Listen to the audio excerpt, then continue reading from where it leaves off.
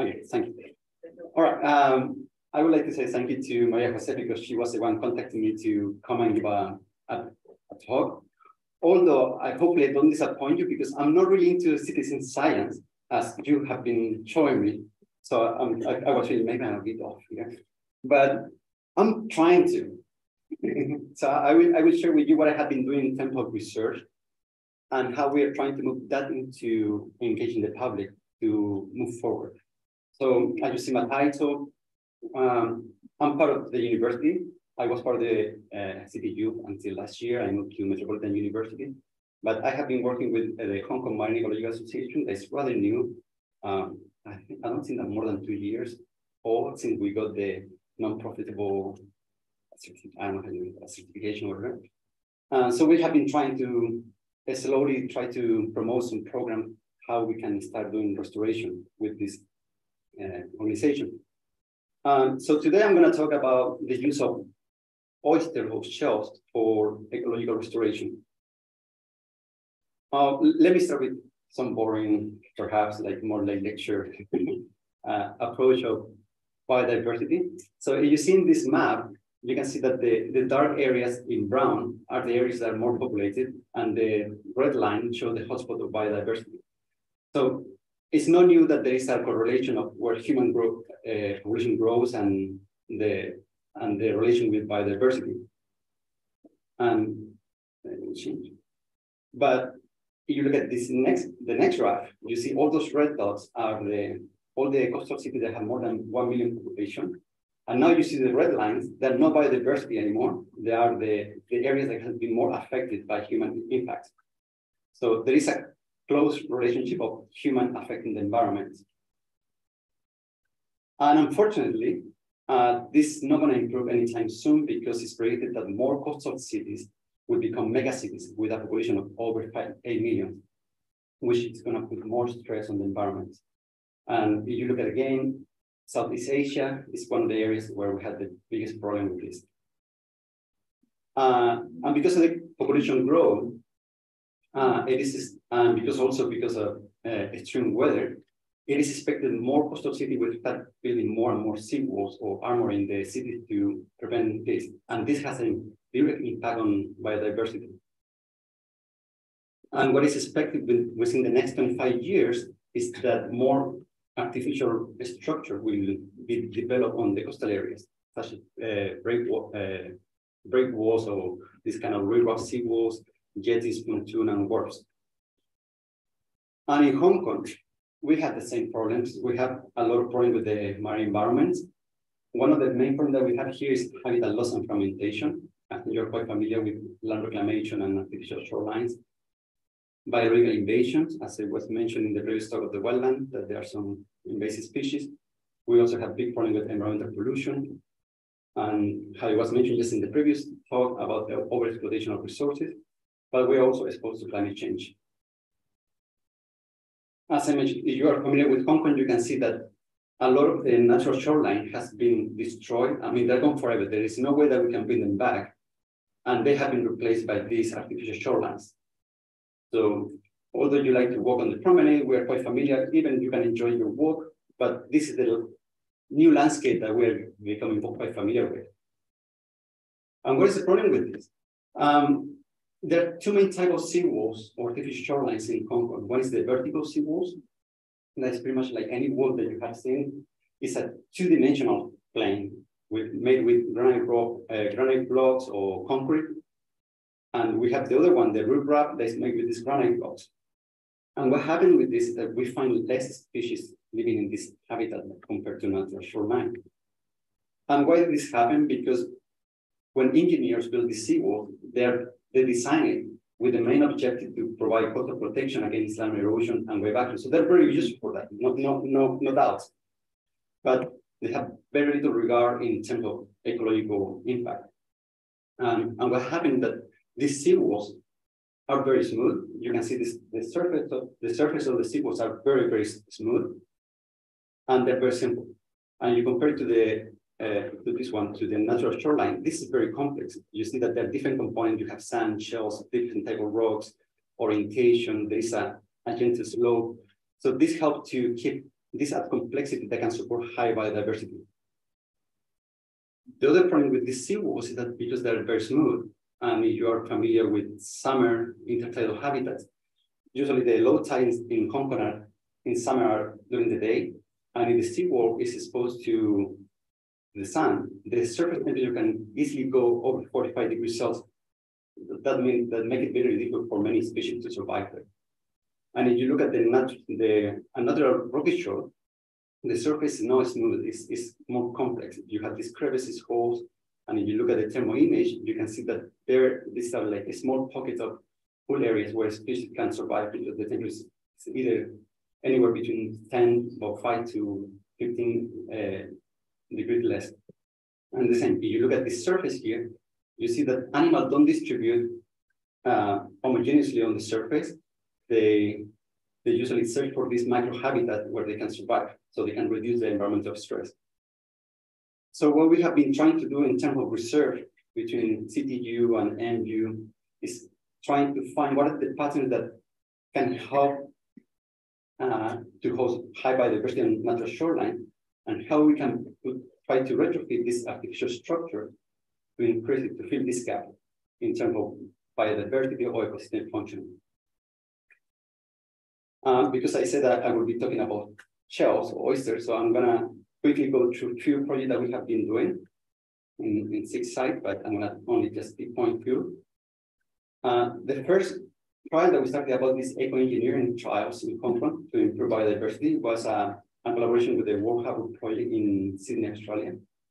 It was a very simple experiment. We we got three type of tiles, flat tile, tile with mid complexity that had crevices about 2.5 cm, and, and tile with higher complexity with uh, crevices about 5 cm. And we have another set of tile that we glue live oysters on the surface. And well, and after a year, we, we can see that the tile were very effective. The design is very simple, but very effective in reducing surface temperature. And that is correlated with the number of species that can live on the on the seawall. But what was very interesting is that just by adding this live component of oyster on the seawalls, we can see that there is a high increase in number of species. What is makes sense because oysters are bioengineered, so they can provide microhabitat for many different species. Following that, following that, we step into a, making a bigger experiment. So now we are trying to redesign or test few eco-engineered structure to replace these big boulders like these uh, tidal pools and armor units that have different type of microhabitat to see we can increase the biodiversity in these seawalls. But we also have this simple unit that is a stainless steel cage where we put inside oysters.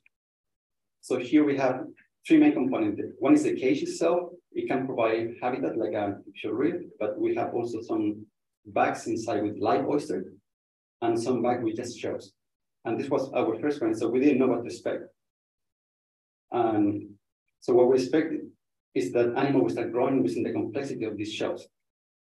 And what we found after 18 months is that regardless of what part of the oyster basket we were looking at, if we look at the basket as a whole, we can find that there were about three times more species compared to the normal boulders on the seawall.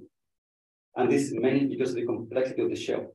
Imagine putting all these shells together, make a lot of little houses for, for animals to, to live and go like, and cope with uh, stress and also predation and so on. And okay. And we also wanted to see, okay, can, can this community growing in these shells also provide some ecosystem services like biofiltration that are very important for, for the environment? And what we found is that, yeah, the, the live oyster, or original live oyster and the community that were growing only on the shells both have biofiltration capacities. You can see in this uh, time lapse that both of them, live oyster and just oyster shell with epibiota, have the capacity to filter water. And this can go anywhere from 0.7 liters per hour to 1.4 in average, which probably represent about between 16 and 34 liters per hour per dry per gram of dry, dry biomass. So that's the capacity of biofiltration is quite high. So we continue with another experiment. And this was in, in Chung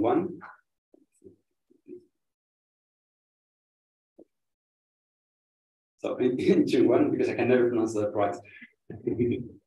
so here we, we start designing other features that can be more easily included into this type of riprap seawall.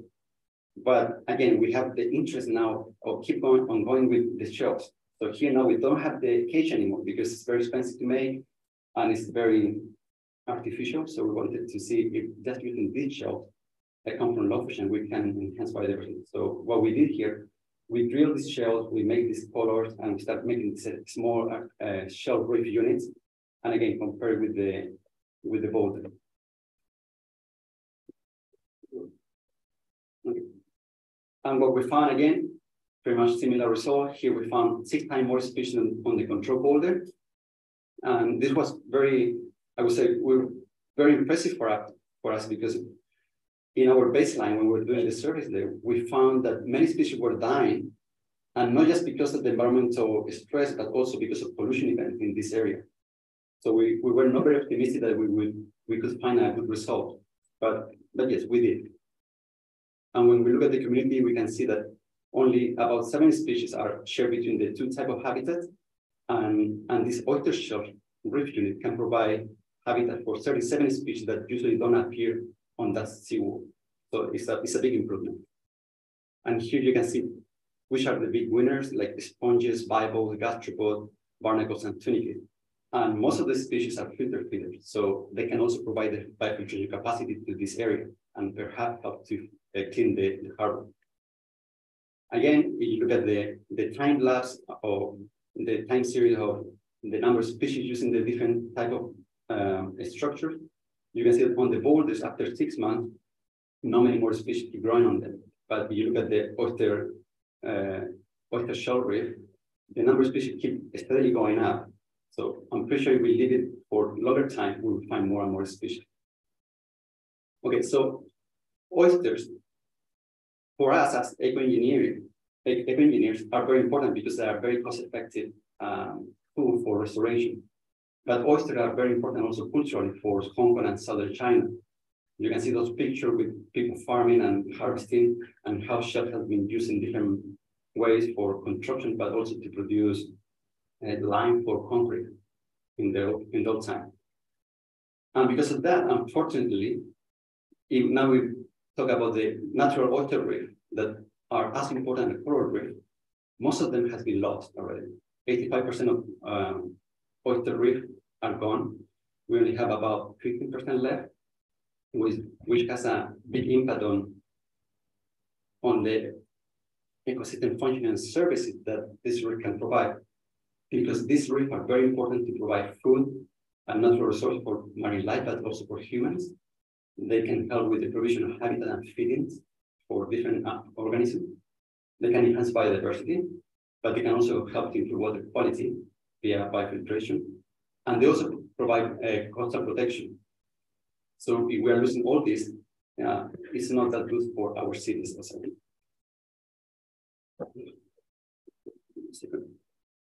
Okay, um, back then, this was in 2017, 18, we were very inspired by the Billion Oyster Project.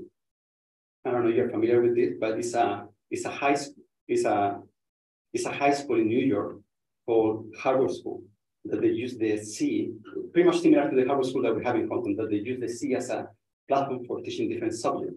And they started with this project of using this corded shell for building like this small reef to restore biodiversity. And it took such a big momentum that they started getting support from different entities and restaurants are keeping their shells and giving, giving it to them for building more and more reef.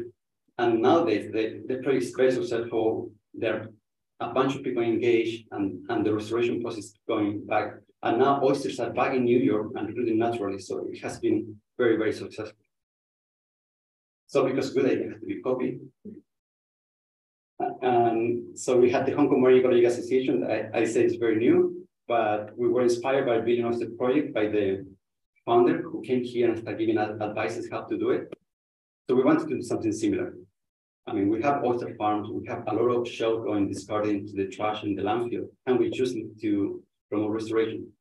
So the vision of the MEA is to to promote a biologically diverse and sustainable marine environment for life to flourish and people to appreciate. But we also want to try to promote a cleaner heart, cleaner harbor. Uh, our goals, we have different goals like restoration. So to try to promote conservation of natural environment, but also to promote bio, the restoration of biodiversity and enhance the resilience of these coastal environments. Research is our one of our mainstream as well, because we need to make sure that whatever we are doing is backed up by, by science, so that can help us to move forward. And uh, education, we want to target young generation to promote conservation and restoration ideas, and also engage with the stakeholders to promote further um, the conservation of the marine ecosystem.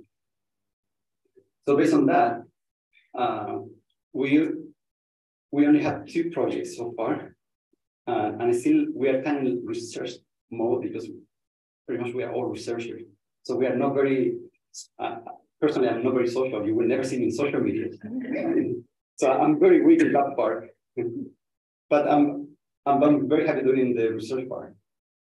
So we got funding from the Marine Ecology Enhancement Fund and Inter, Foundation. They gave us support to do this kind of project, small project, but very interesting.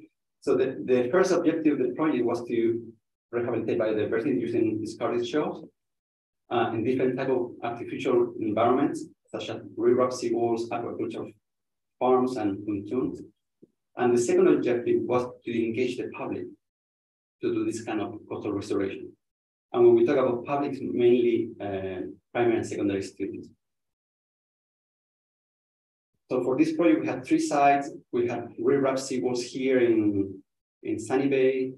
We, we are working with the um, uh, Royal Hong Kong Yacht Club in, in Causeway Bay because it's, highly disturbed and artificial and polluted. And we're also working with uh, Life Django in Sok Kwu Wan in Lamma Island to do these trials. And of, course, NOPRI can go any, any party we don't have a great team. So we have a, a great team of, they're kind of half volunteer, half under the organization, but they're very motivated.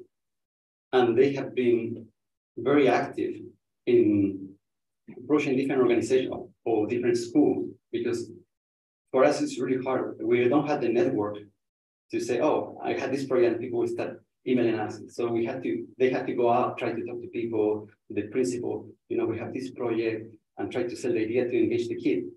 And even they, sometimes they like it, it doesn't work that, that way because they say, oh, but they have to go to the field. Uh, it's going to happen an accident, it's, it's sunburn. I don't any any kind of excuse that I didn't think that they were sick, but they do exist out there, and it's very difficult to engage children. But they can they came with this program that from oyster restoration, I mean oyster collection, and and all the process of building these um, oyster shell strings and going into the field, deploy them, and after that, doing monitoring. Ideally, these children should be able to do all these steps except the first one. And they have been quite successful with, they have uh, engaged two primary school, nine secondary school, and three other organizations like university and so on.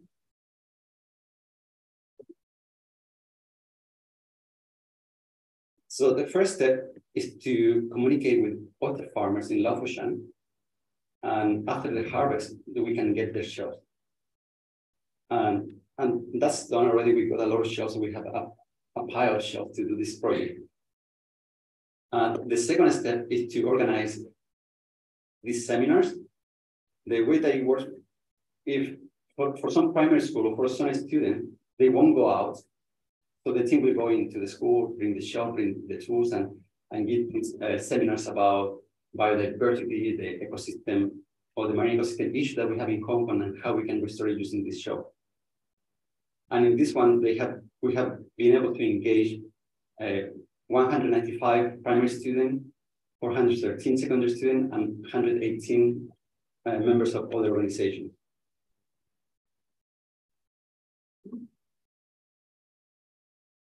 The second step is fabrication workshop. So this is hands-on experience for, for people. And, and again, we can bring the tools into the into the schools if they, they have the space, or we can bring the student to a, a workshop that we can rent and, and this, I think this experience the, the kids really enjoy it. They, they're fascinated. I think there's a generation gap here because when I grew up, my father has all the tools at home. So for me, it was easy to, to use a drill, everything, but children here, they, they don't do it. So they get fascinated feel the power of a drill. um, and they really enjoyed it. So they have, in, in this stage, they had to pick the, shells, drill them, and pass the, the stainless steel wire in between and make their own, own shells. And they can put a tag so they can have the ownership of them.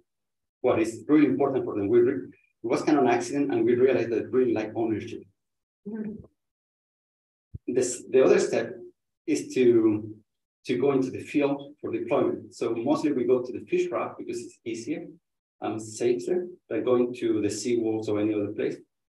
So here the kid had to um, pull a rope and hang them into, into the water. And, and that's it, it's very simple. And we have engaged here 75 primary students, 93 secondary students, and 80 members of other organizations. Well, what was very interesting here is that we have these old fish, uh, fishermen that, that they start teaching their kid how to make the knot. Because although I know how to make the knot, I don't know how to teach them. because I know how to make the knot by, because my hand know how to do it, but I don't know how to teach them. And and this fisherman was really good, and you can see the, the children really enjoying this interaction with their own uh, seafood or whatever they call it. So that was, I would say, pretty nice. And after these shells are deployed, um, some of the kids had the facility going back after three months or six months. And now we collect these, these shells in the water that pretty much became a full of life and color. So the children can really see this transformation for a, from a white shell that they build with their own hands, and now how, how much life in this in these little shells. So it's kind of like a hotel for, for animals. And they, they really enjoyed it. Um, because this, I think this is common because many people are not really aware how much life is out there, how many different forms of life. But when you get these shells out and you put in this tray, you can see all these kind of forms that you never, you, you can see in the, in the documentary, if they watch the documentaries, but you can see now firsthand. So they really, really enjoyed it. And especially because they had the ownership, so they feel that their house brought all this life back to the city. So in this activity, we, we well, unfortunately, we couldn't engage any primary student, but we managed to engage hundred 106 secondary students and 24 members of other organizations. So in summary, uh, although our activity is very small, but we have been learning quite a lot. We managed to engage 14 organizations within the last six months, uh, 726 uh, participants for talks and seminars about oyster and restoration, 387 participants that were engaged in the workshops for the fabrication of these um, oyster shell hotels, and 248 participants were involved in the deployment and 130 of them were involved in the ecological monitoring. So there is a decrease with the next step, but I think for six months of trying to do this and with limited resources and, and labor, I think it's quite, quite good for us. Um, so I would say um, what we learned that we can use this oyster safe overseas program to enhance the environment. I think that the option is there, we can scale this up. But it has become a very good platform to raise social awareness on these children. They, they really love it. Unfortunately, I'm not in social science, so I don't know how to do this questionnaire for analyzing without bias their, their, their learning. But I think that's one of the next steps. Um, we think we have been trying to work with the industry, like the otter farmers and also the fish farmers, how they can engage in this new, I would say, era. Is yet to know about what they produce, but what they can help in the environment. So I think there is a big opportunity there. And there is also this big opportunity of preserve the cultural value of this different industry, but we still have to go further on that. Uh, there was also there has been also some very interesting talks with the teachers, mostly from international school, that they they said, oh, I, I really like the program. The children are really enjoying it, enjoying it. Can we use this as a platform for STEM projects STEAM projects? Where so we, I remember we had this conversation with different teachers like social science, uh, technology, and so on. So everyone was trying to figure out how they can we can use this platform to get different information data so that the, the kid can use it in a holistic way and do different projects. So that was very interesting. Unfortunately, we, we haven't moved forward. I'm not in education, so I, I am I'm waiting from the from the teacher to do the step. We can provide the platform.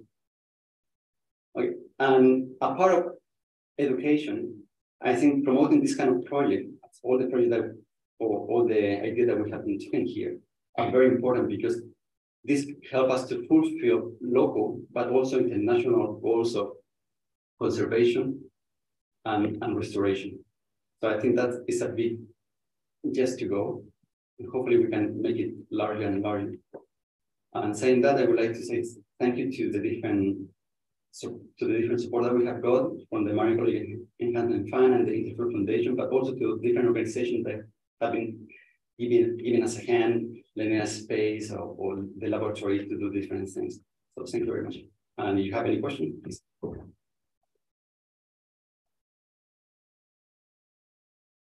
Thank you, Mr. Astudillo, for the very interesting work you do to preserve marine environment and the ecosystem. Do we have any questions from the audience here?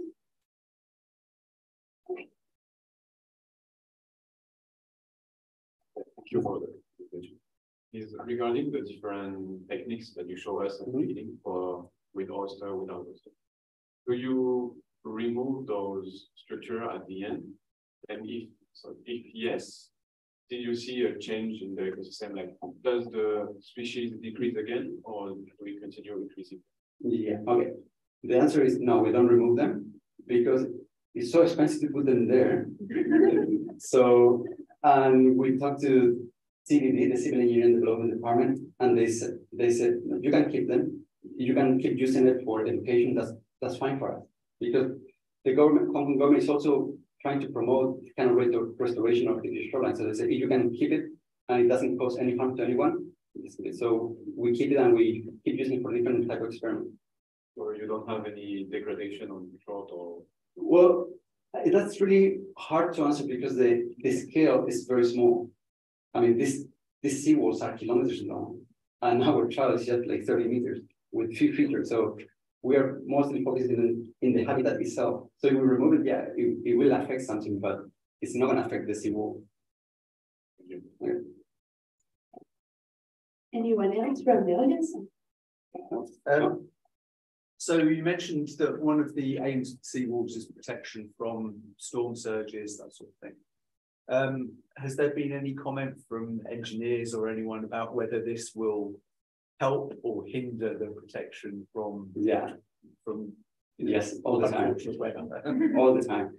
Because they I mean especially from the government engineers they want to implement it but they don't want to take any liability so of course all the other seawalls they have all the standards to to build them and they, they say, oh yeah, that's good. We can we can implement eco, engineering and we can enhance biodiversity. But how do we know that they're not gonna collapse, that they're not gonna break? So that's why we came with the latest feature that pretty much resemble the, the boulders. So the so the, the contractor who built the seawall can install it in, in the same way that the, the normal boulders. So that should secure, should secure the seawall so there is no changes in the construction, no change in the layout of the seawall. No.